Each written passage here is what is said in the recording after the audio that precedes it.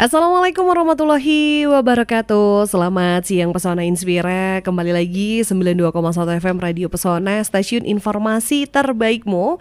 Kali ini hadir di siang hari ini Edisi hari Selasa ya Hari yang ke-27 di bulan Februari 2024 Studio Radio Pesona ini bareng Mita Tapi Mita juga enggak sendiri. Ada yang spesial kali ini Kita akan ngobrol-ngobrol bersama dengan Dinas Dinas Pendidikan Pemuda dan Olahraga Kabupaten Wonosobo dan juga Unit Layanan Disabilitas Disdikpora. Dan kali ini kita akan membahas tentang tema kita adalah semua anak bisa ikut PPDB. Wah, ini kayaknya memang udah hampir mendekati masa-masa PPDB ya Pesona Inspira ya. Nanti yang mau gabung boleh di 0823 2383 9996 tapi kayaknya kita juga harus kenalan nih sama narasumber yang sudah hadir di studio Radio Pesona keren dan luar biasa pastinya. Yang pertama saya sapa Kepala Dinas Pendidikan Pemuda dan Olahraga Kabupaten Wonosobo, Bapak Dr. Dr. Andes Musofa MPD. Pak Musofa, selamat siang. Selamat siang, Assalamualaikum warahmatullahi wabarakatuh Waalaikumsalam warahmatullahi wabarakatuh Apa kabar Pak Musofa? Alhamdulillah baik Lagi sibuk apa ini Pak? Sedang banyak kegiatan, sedang mengikuti paparan supervisi para kepala sekolah yang baru saja mensupervisi gurunya. Kemudian hasil paparan itu menjadi bagian yang harus didata oleh Dinas Pendidikan untuk menjadi masukan agar eh, hasil-hasil supervisi itu bisa menjadi umpan balik bagi peningkatan mutu pendidikan di Kabupaten Wonosobo. Wah luar biasa. Ini nah, di sela kegiatan, di sela-sela kegiatannya tetap meluangkan waktu untuk iya. ngobrol yeah. bareng di studio Radio Pesona. Dan eh, satu lagi nih kita juga kehadiran uh, narasumber kita dari unit layanan disabilitas Disdikpora. Ada Mas Syaifur Rohman MH. Mas Syaifur Rohman, apa kabar? Baik, alhamdulillah. Yeah. Uh, selamat siang untuk Pesona Inspira. Assalamualaikum warahmatullahi wabarakatuh. Waalaikumsalam warahmatullahi wabarakatuh. Ini kalau yang asing dengan Mas, Mas Syaifur Rahman ini Mas Ipung biasanya ya. Nama udaranya ya Mas. Nama beken. Oke, Pesona Inspira boleh gabung silakan sekali lagi di 0823 2383 9996 untuk tema kita tentang semua anak bisa ikut PPDB. Nah, ini uh, karena tema kita adalah PPDB nih sebelum kita pengen tanya semua anak bisa ikut yang bisa ikut siapa aja nih? Kira-kira sebenarnya PPDB sendiri itu apa sih? Gitu. Ya. silakan. Penerimaan peserta didik baru yang ini setiap uh, tahun di akhir tahun pembelajaran mulai bulan uh, Desember kemarin itu sebenarnya sudah dipersiapkan perencanaan penerimaan peserta didik baru dan itu nanti akan disahkan juknisnya dalam waktu dekat ini. Kemudian nanti pelaksanaan penerimaan peserta didik baru ini sekitar Mei kemudian awal Juni dan nanti peserta didik baru ini akan masuk di pertengahan Juli memasuki tahun pelajaran 2023-2025 dan Eh, penerimaan peserta didik ini bukan menjadi kepentingan Dinas Pendidikan Pemuda dan Olahraga saja tetapi menjadi kepentingan semua masyarakat baik yang memiliki anak mau melanjutkan sekolah maupun masyarakat secara umum. Karena kita ingin agar semua masyarakat yang berusia sekolah ini bisa dilayani dalam satuan pendidikan yang ada di Kabupaten Wonosobo. Maka temanya hari ini semua anak itu bisa dilayani lah, bisa dilayani dalam proses PPDB ini supaya semua anak nanti bisa sekolah begitu. Baik, nah ini untuk uh, PPDB sendiri adalah uh, penerimaan pendaftaran peserta didik baru ya. ya. Dan uh, untuk PPDB sendiri ini kira-kira akan dibuka mulai kapan nih? Biasanya kan pertengahan tahun nih atau mungkin. Iya. uh, ada pasti kepastian tanggal bulan gitu mungkin Pak? Iya. Juknisnya sedang digodok, sudah beberapa kali rapat, juga sudah berkoordinasi dengan berbagai pihak termasuk di dalamnya Balai Besar Penjaminan Mutu Pendidikan di Provinsi Jawa Tengah dilibatkan. Kemudian para stakeholder yang terkait ada nanti eh, selain ada di internal dinas pendidikan juga yang ada di luar dinas pendidikan termasuk di dalamnya nanti kominfo karena yang punya bandwidth untuk bisa membackup aplikasi kami kemudian dinas eh, kependudukan dan catatan sipil yang memiliki data-data eh, kependudukan terutama dalam kategori umur tertentu ini menjadi bagian yang nanti kita kerjasamakan. Dan juga dinas sosial yang memiliki eh, DTKS dan pihak-pihak lain ini sudah mulai kami koordinasikan. Sehingga uh, diharapkan nanti juknisnya bisa uh, ready di akhir bulan Februari ini dan juga nanti akan dilakukan uh, public hearing ya sebelum uh, ini digunakan juga dilakukan public hearing supaya uh, masyarakat bisa memberikan masukan manakala ada celah-celah yang belum uh, sempurna nanti bisa di, disempurnakan. Lalu kalau uh, timelinenya seperti yang tadi saya sampaikan untuk uh, perencanaan sudah jalan. Nah, perencanaan sudah jalan. Uh, tinggal nanti pelaksanaannya karena pelaksanaan itu kan sebenarnya mulai jadwal pendaftaran. Tetapi kalau e, kegiatan persiapan PPDB ini justru lebih banyak, lebih banyak persiapannya. Termasuk di dalamnya eh, eh, apa nih? menyusun daya tampung, ya daya tampung. Jadi daya tampung eh, di satuan pendidikan kita, misalnya untuk kelas eh, 1 SD berapa, kemudian kelas 7 SMP ada ada berapa daya tampungnya itu harus dikalkulasi di awal. Selain juga menetapkan uh, wilayah zona ya. Jadi kalau secara hierarkis kegiatan untuk perencanaan penerian peserta didik baru ini dimulai dari eh, menentukan ini menentukan uh, wilayah zonasi dulu.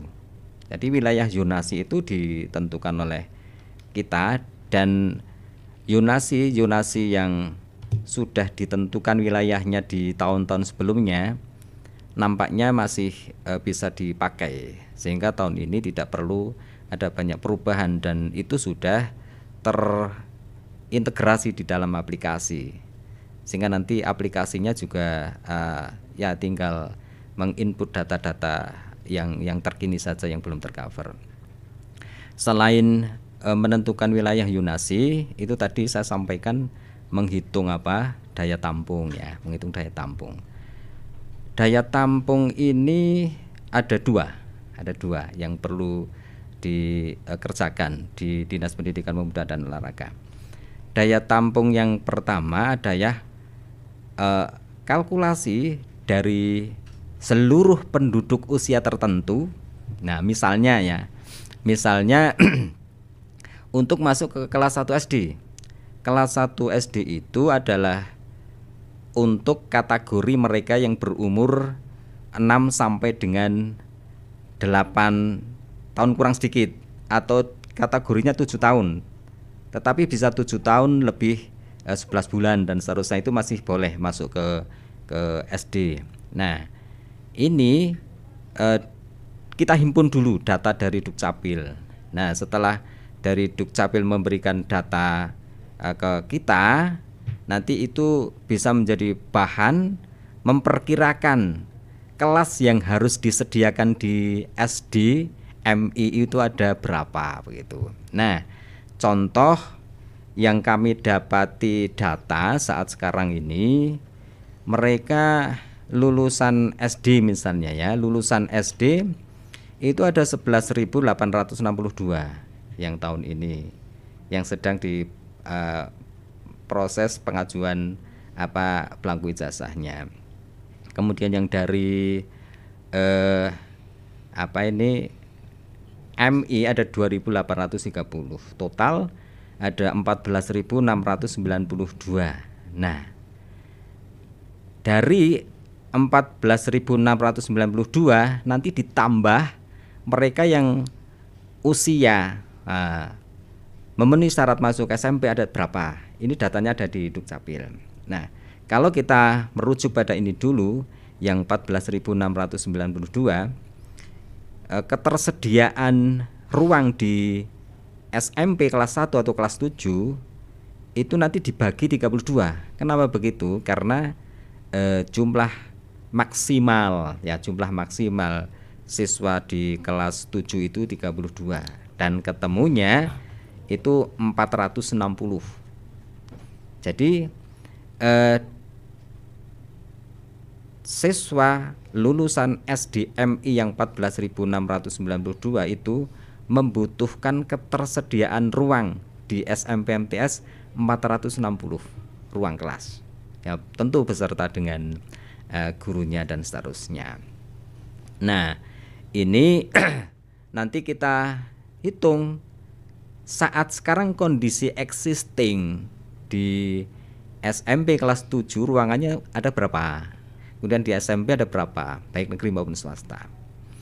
E, kalau saya melihat data ini baru 362 kondisi existingnya.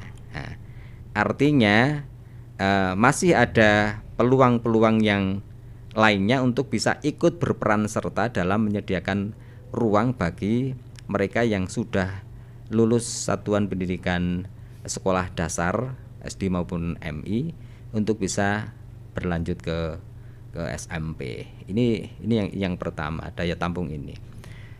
Daya tampung secara keseluruhan. Kemudian cara menghitung daya tampung yang lainnya itu dengan meminta kepada setiap sekolah sekolah itu uh, mengirimkan data ke kami uh, mengirimkan data akan menampung berapa. Ya misalnya SMP 1 tahun ini akan menampung berapa uh, peserta didik atau berapa rombongan belajar SMP 2 berapa SMP 3 berapa dan seterusnya. Nah uh, kami biasanya jika ada tambahan daya tampung misalnya dari 7 menjadi 8 kami tanya berani menambahkan satu ruangan berarti ada konsekuensinya. Tersedia ruang enggak hmm. kalau tersedia ruang terus gurunya cukup enggak kalau misalnya eh, benar tersedia ruang dan ada guru berarti kita merekomendasi untuk tambah. Tetapi kalau tidak kita tidak boleh mengabaikan layanan. Jangan sampai anak sudah diterima tetapi diminta duduk di tempat yang tidak layak misalnya. Kemudian eh, diberi pembelajaran oleh guru yang tidak kompeten misalnya. Ini bagian-bagian yang kita kita filter. Jadi di perencanaan daya tampung itu. Kemudian selain itu kita juga melakukan pembuatan juknis ya. Pembuatan juknis yang sedang terus disempurnakan Lalu pembentukan panitia jelas. Ini panitia perlu diketahui bahwa panitia penerimaan peserta didik baru itu nanti eh, di kabupaten ada. Tapi di kabupaten itu levelnya di soal kebijakan dan pemantauan. Nah, sedangkan nanti pelaksanaannya itu kan ada dari satuan pendidikan. Sebab yang akan menerima peserta didik siapa sih? Kan sekolah, madrasah. Nah, berarti nanti ada uh, panitia yang ada di tingkat uh, uh, satuan pendidikan. Nah, untuk panitia di tingkat kabupaten melibatkan tadi uh, dari uh, Dipora, kemudian dari Kominfo, dari Capil, kemudian dari Dinas uh, Sosial dan PMD.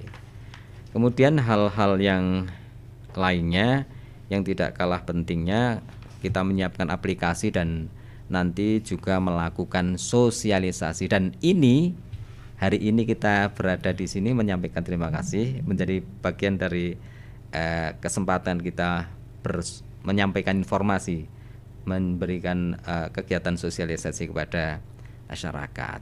Nah, ada hal yang penting lagi daya tampung dalam hal ini ada daya tampung yang tidak boleh diabaikan khusus yang memiliki kebutuhan khusus. Jadi jangan sampai anak yang memiliki kebutuhan khusus ini uh, tidak terlayani. Karena untuk semua maka uh, kawan WLD ini sedang melakukan pendataan nanti akan menyampaikan informasi uh, berapa jumlahnya dan uh, kategorisasinya seperti apa. Nanti kita akan mendorong agar satuan-satuan pendidikan tidak boleh membatasi hanya anak-anak yang yang non ABK, tetapi uh, yang ABK harus dilayani oleh setiap satuan pendidikan yang dekat dengan yonasinya. Yang utamanya dekat dengan yonasinya apalagi kalau anak ABK itu kan uh, butuh yang dekat iya.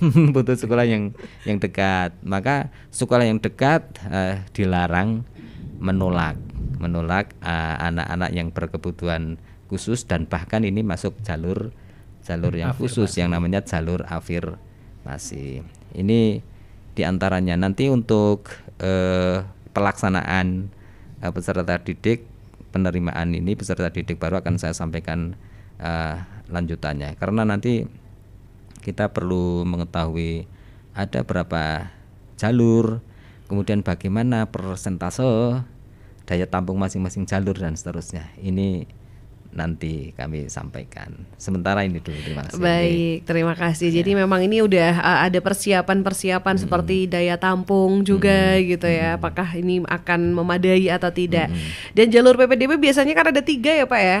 Ini masih akan ada, diinformasikan lagi gitu uh, ada prosentasenya. Empat. Oh ada empat. Ada empat ya. Untuk yang SD itu ada tiga. -hmm. Ya yaitu jalur zonasi, yeah. kemudian jalur afirmasi dan jalur kepindahan orang tua. Kalau orang tuanya itu pindah tugas dari tempat tertentu, hmm. uh, itu bisa melalui jalur jalur ini. Tapi kalau untuk yang uh, eh, SLTP, pendidikan baik MTS maupun SMP, ini bisa ditambah dengan jalur uh, prestasi.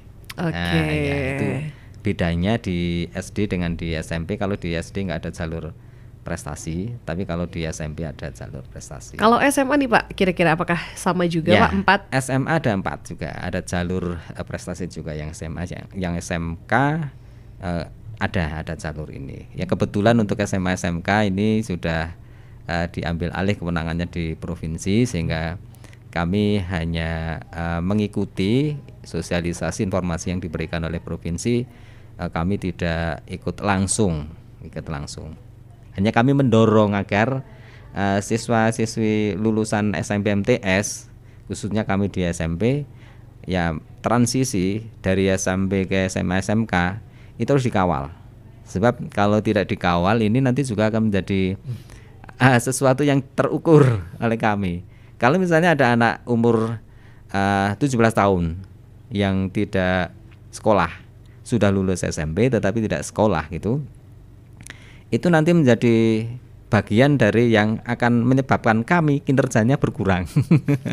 Sehingga kami punya gerakan nanti semua kepala SMP plus guru-gurunya itu mendorong agar lulusan SMP yang sekarang sedang menjalani kelas 9 ini ya didorong dimotivasi agar nanti melanjutkan ke SLTA begitu jadi konsep kami begitu bahkan kami meminta nanti kawan-kawan kepala sekolah kepala harapkan juga mudah-mudahan bisa kepala MTS juga itu semua anak yang ada di satuan pendidikan itu misalnya anak di SMP X ada misalnya kelas 9-nya ada 90 misalnya ya.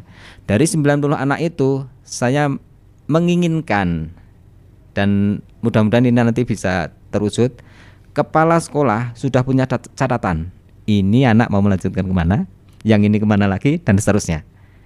Nah ini nanti akan kami rakorkan di, di, di tingkat kabupaten. Salah satu agendanya di antaranya uh, membuat uh, strategi untuk melakukan uh, pemetaan anaknya mau ke mana. Nah setelah itu dikawal. Tidak hanya punya datanya tapi dikawal. Dikawal uh, setelah PPDB selesai bener nggak ini anaknya seperti yang ada pada data. Demikian juga anak yang SD SMP, semua kepala SD itu nanti saya minta agar anak anak-anak kelas 6 yang ada di satuan pendidikan itu terdata. Anak ini namanya siapa, mau ke mana, hmm. dan akan bersambung sampai ke uh, PAUD, TK, TKB. Nah, nah kalau ada hubungannya dengan yang berkebutuhan khusus, kami punya mitra ULD nanti yang akan ikut berkontribusi kontribusi ke sana. Jadi eh, harapannya eh, gerakan Mayo Sekolah yang sudah dicanangkan beberapa eh, tahun yang lalu ini harus eh, benar-benar teraktualisasi. Artinya aksinya itu nyata dan kuat. Jadi tidak hanya aksinya tetapi cilian gitu. Kalau kami inginnya aksinya yang besar sekalian dan insya Allah dengan ikhtiar yang uh, maksimal ya hasil biasanya kan tidak mengingkari ikhtiar. Meskipun hasil kita tidak bisa menentukan karena faktornya banyak, tetapi kita ingin meningkatkan ikhtiar. Jadi jika kita ikhtiarnya sudah maksimal, paling tidak kita ya sudah uh, tidak kainan lah kalau bahasa Jawa nih nggak kainan begitu. Ya terima kasih. Baik jadi ada beberapa uh, jalur untuk PPDB dan yeah. nah, salah satunya ini ada yang berkebutuhan khusus gitu yeah, ya dan di Stikpura punya mitra ada ULD yeah. nah ini Mas Ibong nih. ULD ini uh, bagaimana ini peran ULD sendiri untuk proses PPDB ini? Apakah akan mengawal dari PAUD ke TK sampai ke SMP hingga SMA nih Ya, uh, mohon izin, uh, Kadin. Uh, tadi sebenarnya sudah disampaikan uh, oleh beliau Bapak Kepala Dinas bahwa hakikatnya adalah semua anak bisa mengikuti PPDB dan semua anak juga harus terlayani dengan baik. Nah, salah satu dalam komponen anak itu sendiri adalah uh, terutama untuk anak-anak yang berkebutuhan khusus dan ataupun penyandang disabilitas. Nah, kebetulan di unit kami memang berfokus pada uh, peserta didik yang berkebutuhan khusus.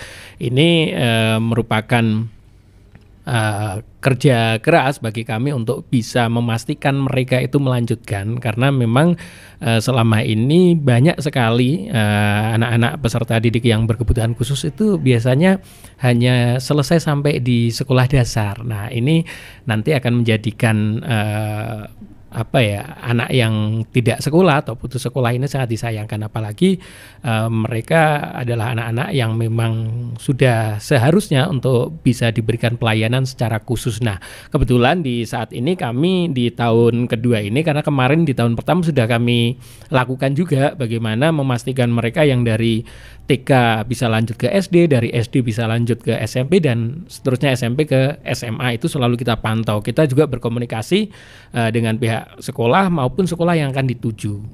Dan kami juga memastikan pihak orang tua untuk benar-benar bisa uh, bersemangat untuk memberikan pendidikan kepada mereka dan kekhawatiran-kekhawatiran yang selama ini terjadi ke orang tua kami berupaya untuk uh, memberikan pemahaman bahwa apa pun keadaan mereka tetap bisa dilayani dan pendidikan merupakan uh, faktor penting untuk mereka bisa mandiri, mereka bisa uh, beraktualisasi diri, kemudian mereka bisa jauh lebih berkembang dengan baik. Nah, kebetulan di tahun ini kita ada 40 peserta didik berkebutuhan khusus yang uh, kita dampingi. Mungkin biasanya sehabis ini Pak Kadin biasanya akan banyak bermunculan iya. laporan-laporan yang ke kami.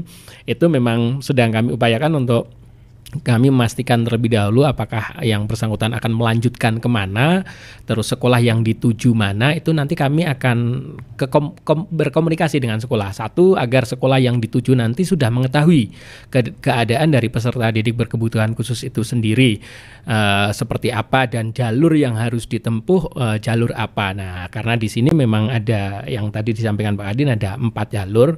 Kebetulan khusus untuk peserta didik berkebutuhan, khusus ini memiliki jalur khusus yaitu jalur afirmasi. Nah, mm, dari kami ULD itu mencoba untuk memastikan benar-benar mereka uh, bisa melalui proses-proses itu karena terus terang saja kalau ini tidak dikawal itu biasanya akan putus di jalan. Nah, itu berkaitan uh, apa ya ketidakoptimisan dari orang tua untuk untuk peserta didik yang berkebutuhan khusus ini bisa mendapatkan jenjang pendidikan yang lebih tinggi juga. Tadi juga sudah di uh, dijelaskan Pak Adin dengan baik pemetaan-pemetaan uh, mulai dari kapasitas uh, kelas yang mungkin dari SD sampai SMP itu seberapa itu baik karena memang di awal uh, kita tidak menginginkan bahwa PPDB ini akan menjadi carut marut gitu ya. Biasanya kalau di dengan dengan adanya pemetaan ini kan nanti akan jauh lebih mudah termasuk pemetaan terhadap peserta didik yang berkebutuhan khusus. Kalau sekarang itu sebenarnya namanya sudah peserta didik penyandang disabilitas. Iya. Peserta didik penyandang, penyandang disabilitas, disabilitas PDPD iya PDPD yang yang terbaru dari kementerian. Okay. nah uh, itu tadi dari uh, yang 40 peserta didik berkebutuhan khusus yang akan mengikuti PPDB ini sebenarnya kalau di kami itu sudah ada 291 uh, PDBK yang uh, terlapor di kami. Dan ada beberapa yang memang uh, jumlahnya 13 uh, siswa yang sebenarnya bukan kategori PDBK. Ini kami memang memahami bagaimana mereka dalam mengidentifikasi secara sederhana sejak awal kan memang belum begitu maksimal. Kami juga nanti akan uh, mendampingi kebutuhan kebutuhan-kebutuhan atau hal-hal yang memang berkaitan dengan administrasi untuk mereka bisa uh, melalui proses PPDB itu sendiri. Oke, jadi keren sekali ini untuk uh, eh, ULD ini sudah ibaratnya kayak call centernya Disdikpora gitu ya Pak ya? Iya, juga ada. Karena laporan-laporan ini masuk ke yeah. ULD juga dan uh, akhirnya keberadaan ULD ini membuat anak-anak yang tadinya tidak bahkan hmm. nih kayak tidak uh, tersentuh akhirnya mulai muncul dan mulai melanjutkan sekolah gitu ya Mas yeah. Ipung ya. Luar biasa sekali. Nah, untuk uh, penyandang disabilitas nih, untuk alur dapat mengikuti kegiatan PPDB ada syarat-syarat khususkah atau seperti apa begitu? Uh, kebetulan untuk uh, jalur alur jalur afirmasi itu salah satu syaratnya adalah mereka memiliki surat keterangan disabilitas ya yang pasti uh, dikeluarkan oleh misalkan di RSU atau dokter yang khusus ya. Kemudian ada surat keterangan disabilitas dari psikolog juga. Itu dua syarat itu yang memang sebagai syarat utama untuk bisa uh, terinput uh, di data Dapodik ya uh, melalui jalur afirmasi di PPDB itu. Ini dua itu saja sih yang yang dibutuhkan. Oke, jadi ada surat keterangan disabilitas dari dokter dan juga uh, dari psikolog gitu kalau yeah. misalnya enggak uh, dari dokter gitu ya. Oke, nah uh, siapa saja sih yang termasuk dalam kategori calon peserta didik dengan disabilitas? Nah, kategori yang masuk di dalam disabilitas ini kira-kira seperti apa? Banyak juga peserta Inspira yang uh, bertanya-tanya gitu ya. Kira-kira seperti uh, contohnya apa saja gitu? Ya, kalau di kami itu ada yang pertama peserta didik dengan hambatan intelektual itu pasti uh, ini yang yang agak susah biasanya identifikasi ini yang banyak orang karena secara fisik mereka uh, seperti yang lain tapi secara kemampuan intelek mereka ada hal-hal seperti keterlambatan fungsi kecerdasan, IQ ya, kemudian hambatan dalam perilaku sosial atau adaptif biasanya agak berbeda. Enggak pada umumnya lah. Ini biasanya niteni kalau orang Jawa itu ora umume gitu itu itu uh, biasanya anak-anak yang punya ciri khas di hambatan intelektual. Kemudian yang kedua peserta didik dengan lambat belajar atau kita lebih mengenal soul learner ya.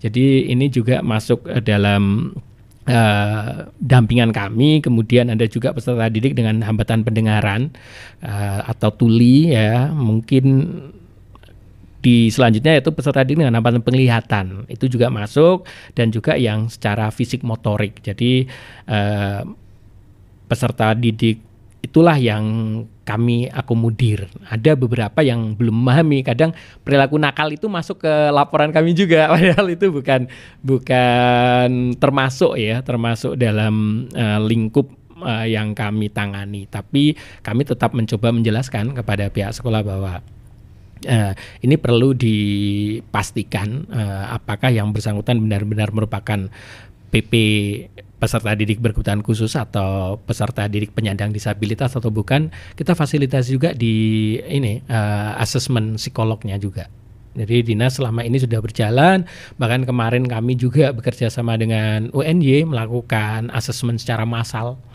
Itu luar biasa dan nanti hasil dari asesmen itu juga bisa menjadi acuan sekolah bagaimana cara memberikan pelayanan yang terbaik untuk mereka. Oke, ini uh, sudah dilakukan assessment juga, jadi banyak hal yang sudah uh, dilakukan oleh ULD juga gitu ya. Oke, dan uh, peserta Inspira yang mau gabung silahkan masih ditunggu di 0823 2383 999M. Kita akan kembali sesaat lagi masih bersama Kepala Dinas Pendidikan Pemuda dan Olahraga Kabupaten Wonosobo. Ada Bapak Musofa dan juga ada Mas Ipung dari Unit Layanan Disabilitas Disdikpora Kabupaten Wonosobo. Kita akan kembali sesaat lagi, jadi pastikan tetap bersama kami. Dialog hari ini 92,1 FM Radio Pesona Stasiun Informasi Terbaikmu dan kita masih ngobrol-ngobrol ngobrol yang asik dan seru dari tadi saya menyimak uh, Pak Musofa selaku Kepala Dinas Pendidikan Pemuda dan Olahraga Kabupaten Wonosobo juga Mas Ipung ini ketua juga di Unit Layanan Disabilitas Disdikpora Kabupaten Wonosobo. Semua anak bisa ikut PPDB. Oke, sudah ada pertanyaan yang masuk. Ini mungkin saya akan bacakan terlebih dahulu. Yang pertama ada Ibu Kristi. Ini Ibu Kristi ingin menanyakan kalau piagam prestasi anak TK yang mau masuk ke SD apakah berpengaruh? Mungkin tadi sudah dijelaskan tapi barangkali uh, bisa uh, sambil menambah pengetahuan juga karena mungkin ini TK-TK juga ikut lomba mewarnai gitu Pak lomba-lomba yang lain jadi uh, barangkali piagamnya atau sertifikatnya bisa digunakan silakan Pak Musofa Terima kasih. Piagam di TK, lomba di TK di PAUD itu pasti bermanfaat ya. Terutama bagi meningkatkan kepercayaan diri mereka peserta didik PAUD TK itu. Kemudian juga menjadi bahan untuk mengukur ya, mengukur prestasi tertentu yang dilatihkan oleh para pendidiknya artinya eh, kegiatan lomba di PAUD di TK itu silahkan terus dilanjutkan ya, ya nggak usah dihentikan.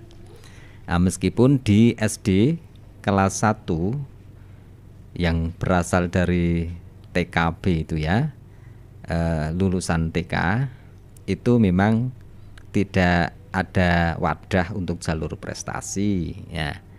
Jadi masuk ke SD kelas 1 itu eh, khusus dengan jalur zonasi, kemudian afirmasi, lalu ada jalur jika ada eh, kepindahan orang tua, kepindahan tugas orang tua, hanya jalur itu. Prestasi memang tidak disediakan sesuai dengan ketentuan dari kementerian. Begitu jawabannya. Oke, semoga ini terjawab Ibu Kristi karena mungkin ini Ibu Kristi besok anaknya udah mulai masuk SD gitu ya. Tapi seperti pesannya Pak Musofa bah, uh, bahwa jangan sampai berhenti untuk berkreasi gitu ya Pak ya. Oke. Pertanyaan selanjutnya ada Suparno dari Kejajar mau bertanya mengenai pendaftaran sekolah. Saya ada saudara yang tuli umur sudah 9 tahun ingin sekali sekolah, tapi karena terkendala biaya jadi tidak bisa ke SLB Apakah bisa masuk pendaftaran di sekolah inklusi? Terima kasih. Oke, okay, ini nanti akan diteruskan oleh Mas Ibung.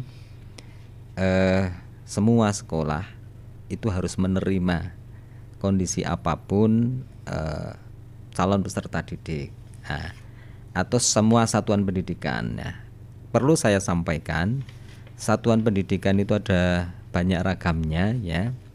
Ada satuan pendidikan sekolah dasar yang ini eh, formalnya, kemudian ada pendidikan kesetaraan juga, kemudian juga ada madrasah. Jadi nanti kita sesuaikan terkait dengan nanda yang tadi namanya tidak disebutkan ya nama uh, anandanya itu yang umur 9 tahun dan tuli. Coba nanti dikaji uh, Mas uh, Ibung kemungkinannya bisa diberikan layanan lewat uh, satuan pendidikan yang mana. Hmm. Jadi kita memang uh, memberikan layanan dan sesuai dengan regulasi yang sudah ditetapkan oleh uh, pemerintah. Memang secara regulatif itu ada ketentuan umur ya, ada ya. ketentuan-ketentuan umurnya. Jadi untuk masuk ke uh, eh, SD itu umurnya paling tinggi berapa ada ketentuannya dan paling tinggi itu kalau untuk masuk ke uh, eh, SD kelas 1 itu ada uh, 7 lebih 7 tahun lebih 11 bulan hmm. lebih 29 hari boleh. Belum 8 tahun. Belum 8 tahun. Itu itu boleh. Nah terkait dengan kasuistik ini nanti yang penting kita memberikan layanan Mas Ipung. Iya. memberikan layanan bagaimana uh, caranya supaya uh, lebih cocok dan sesuai dengan regulasi. Bapak yeah. mungkin menambahkan Mas Ipung. Iya, yeah, uh, benar sekali yang tadi disampaikan Pak Adin ya, bahwa karena kami juga dalam melakukan uh, suatu hal juga ber berdomaan dengan regulasi yang ada, sedangkan yang bersangkutan memang sudah melewati batas dari ambang usia yang sudah uh, diatur, mungkin nanti akan kami bercoba berko berkomunikasi uh, baik dengan pihak keluarga ataupun dengan pihak uh, sekolah kesetaraan. Jadi di kami juga kan ada yang memang SKB nih, uh, yang memungkinkan apa memungkinkan untuk diantau atau kejar-kejar paket yang mungkin terdekat di wilayah uh, anak tersebut. Tapi kami juga nanti akan melihat situasi karena memang tadi yang disampaikan kalau ke SLB Uh, eh, mohon maaf karena memang di Wonosobo belum ada SLB yang negeri, jadi masih swasta itu pun uh, belum mencakup semua ragam, sehingga ini jadi persoalan juga kalau kita paksakan apakah nanti uh, yang bersangkutan karena tuli mungkin bisa ya, bisa di SLB, tetapi karena tadi yang alasan dengan biaya uh, jangkauan wilayah. Nah, ini kan menjadi sesuatu yang perlu kami kaji terlebih dahulu. Kami coba nanti akan berkomunikasi, boleh melaporkan saja terlebih dahulu ke unit kami sehingga kami tahu uh, secara detail ya histori maupun uh, apa wilayah ya, wilayah uh, bagaimana sehingga anak tersebut tetap mendapatkan haknya. Uh, bisa mendapatkan pelayanan pendidikan. Andai kata memang tidak mampu di SD dan di SMP, mungkin akan kami coba untuk berkomunikasi dengan SKP ataupun kejar paket yang memang ada di wilayah setempat. Oke, semoga ini pertanyaannya sudah terjawab. Ada lagi uh, yang bertanya dari Mas Irfan di Wonosobo. Tema yang diangkat kali ini luar biasa keren sekali. Semua anak bisa PPDB. Namun banyak uh, manusia atau masyarakat di Wonosobo yang belum memaknai tentang tema ini. Nah, bagaimana menyadarkan masyarakat bahwa uh, semua anak ini bisa PPDB? Iya penerimaan peserta didik baru itu ada momennya. Memang momennya pada awal tahun pembelajaran hmm. baru ya. Kemudian di sela-sela atau di pasca itu itu memang e, namanya sudah berbeda. Kalau misalnya ada e, seorang anak yang akan masuk ke satuan pendidikan yang diharapkan atau yang sesuai tapi sudah lewat PPDB itu sebenarnya secara regulatif tidak tidak bisa ya. Oleh karena itu saya mengharapkan agar momen PPDB itu menjadi perhatikan kita seluruhnya. Kita perlu mensosialisasikan kepada masyarakat, ayo semua anak yang sedang masanya untuk masuk ke eh, sekolah, ke madrasah, baik kelas 1, kemudian kelas 7, kelas eh, 10, kita dorong agar mereka bisa masuk ke satuan pendidikan. Nah, kalau misalnya uh, ada kendala-kendala, silahkan bisa konsultasi, koordinasi dengan kami. Barangkali ada kendala-kendala yang harus dicarikan jalan keluar bersama-sama.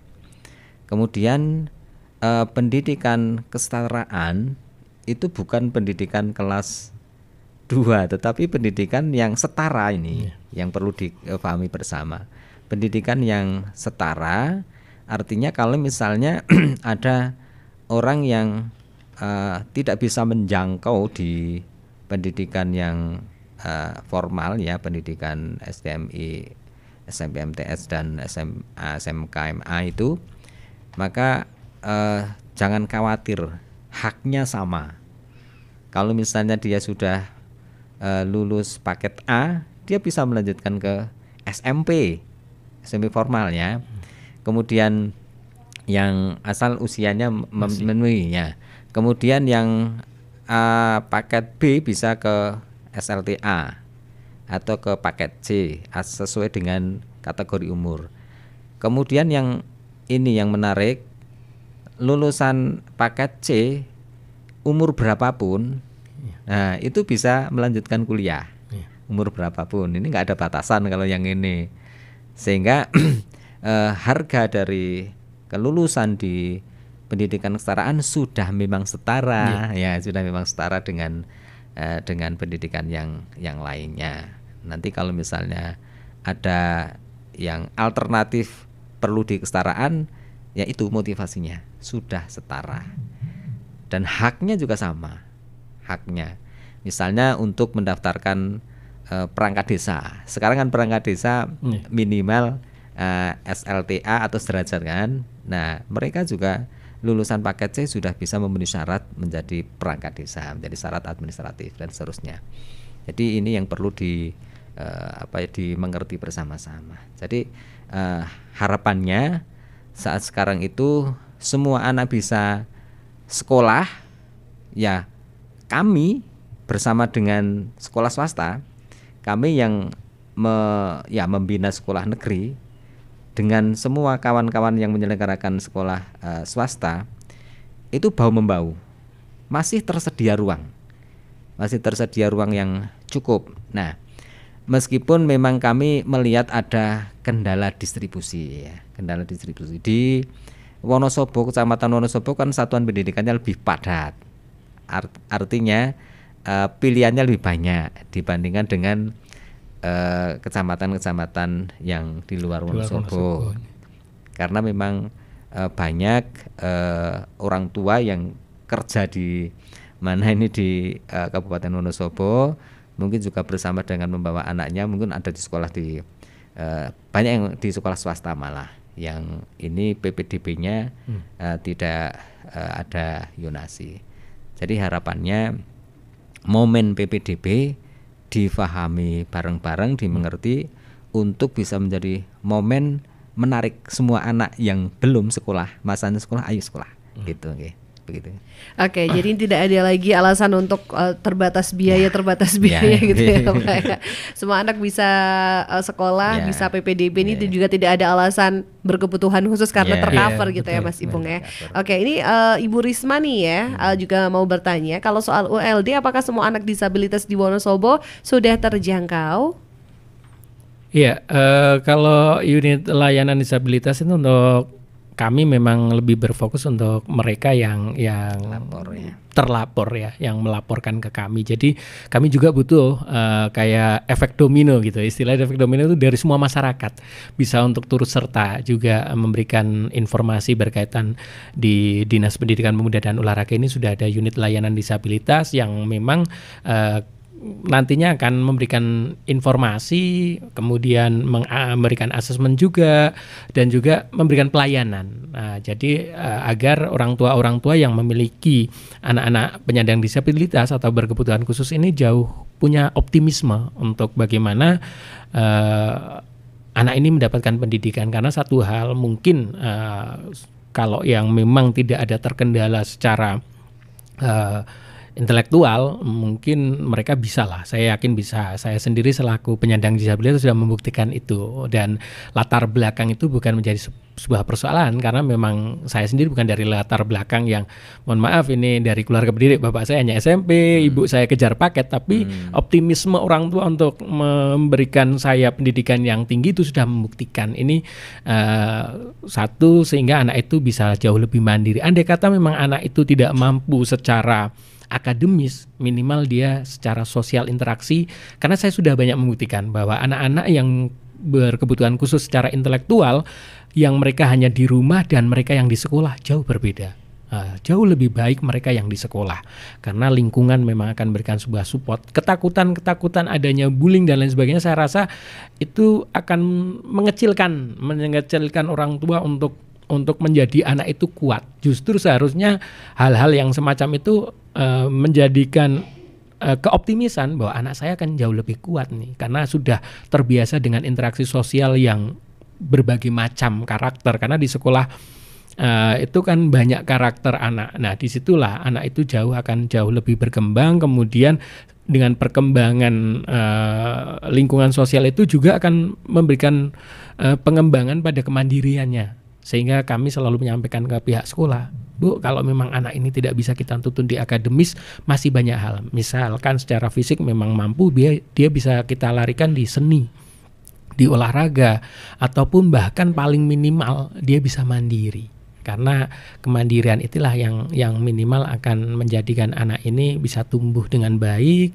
bisa juga menjadi harapan optimisme orang tua. Uh, bagaimanapun saya kalau uh, ini yang paling utama kami tekankan ke sekolah adalah ruh melayani dulu, menerima dulu mereka. Karena kalau mereka bisa berbicara, mereka kadang uh, mengungkapkan bahwa di sekolah itu adalah rumah keduanya, orang tua keduanya dan keluarga keduanya gitu. Makanya uh, kami khususnya untuk orang tua orang tua ini kami mohon untuk uh, mereka bisa optimis uh, masuklah ke sekolah apalagi di dinas pendidikan sudah sangat luar biasa di Wonosobo. Begitu welcome dan isu-isu disabilitas di Wonosobo jauh lebih baik daripada kota-kota lain. Pemahaman penerimaan kesempatan juga. Karena saya tidak ingin kesempatan yang diberikan pemerintah daerah misalkan dari mulai uh, pekerjaan kemudian eh, hal-hal uh, yang lain itu akan terkendala hanya karena masalah SDM pendidikan yang tidak ada nih. Karena selama ini pemerintah sudah banyak nih mengakses uh, peluang-peluang pekerjaan hanya saja memang SDM yang dibutuhkan tidak ada sehingga kami ingin bersama-sama kita dukung mereka agar mendapatkan pendidikan sehingga kehidupan mereka akan jauh lebih layak. Karena bagaimanapun ke depan anak-anak disabilitas itu akan banyak mendapatkan kesempatan. Itu sih. Oke, ini artinya uh, butuh support system juga dari orang tua Semua, gitu ya. Iya. Kalau sudah didukung nih di sekolah juga akan nyaman dan hmm. bahkan tadi dikatakan menjadi rumah kedua gitu. Iya. Oke, luar biasa.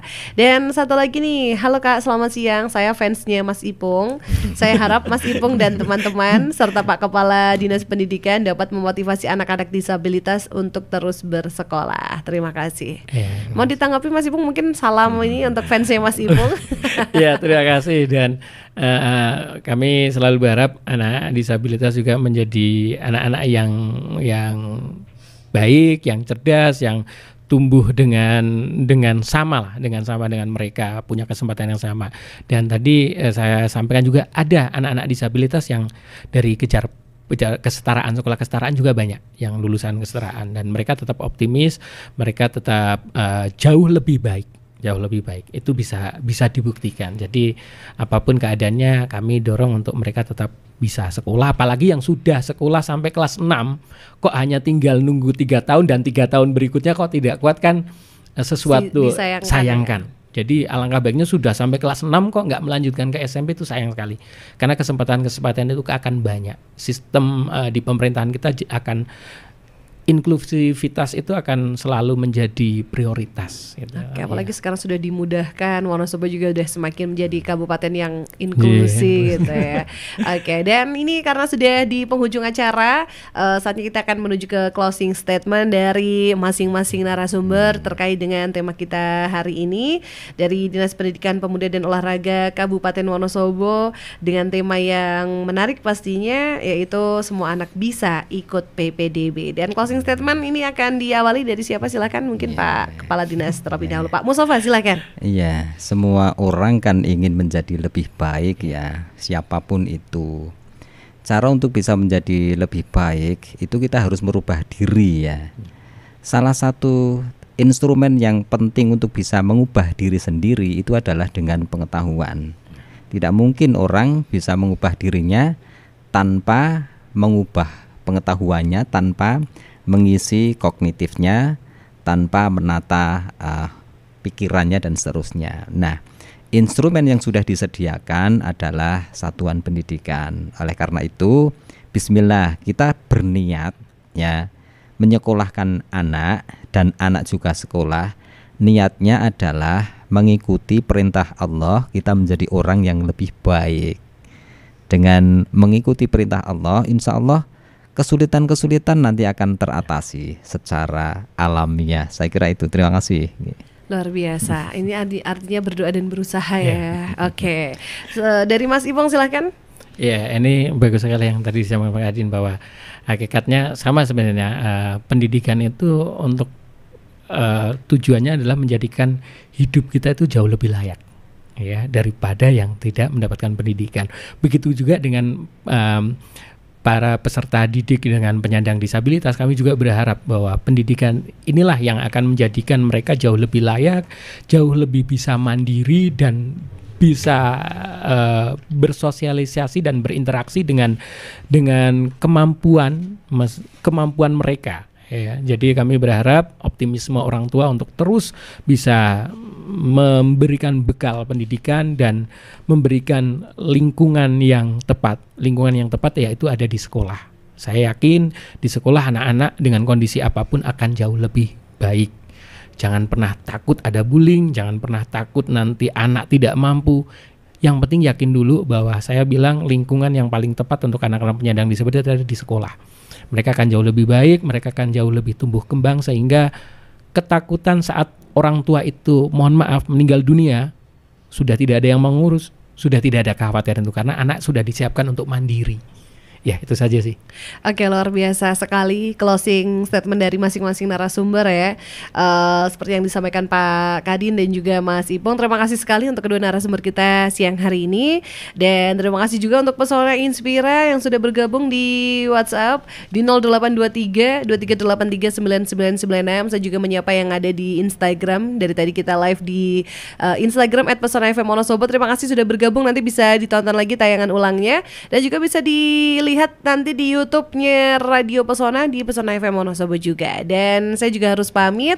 Terima kasih sekali Pak Musofa. Terima kasih Mas Ipong. Sukses ya, selalu pastinya dengan tema kita semua anak bisa ikut PPDB. Seperti yang disampaikan Pak Musofa juga bahwa uh, kita harus selalu menuntut ilmu dan kita harus mendekatkan diri dengan uh, Allah Subhanahu wa taala maka maka akan ada kemudahan ya seperti hadis juga yang mengatakan bahwa tuntutlah ilmu sampai ke negeri Cina. Dan demikian dialog kita hari ini sampai jumpa lagi. Selamat siang. Saya Mita bersama narasumber pamit. Wassalamualaikum warahmatullahi wabarakatuh.